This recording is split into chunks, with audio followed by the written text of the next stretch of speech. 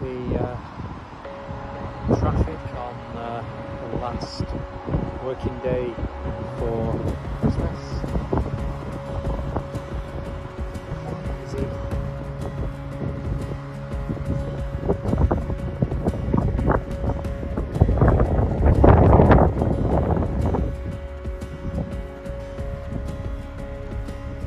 So that's just dropped traffic.